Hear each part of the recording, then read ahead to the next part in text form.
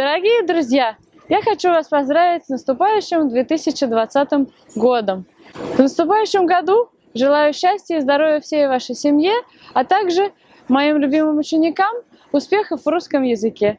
С наступающим!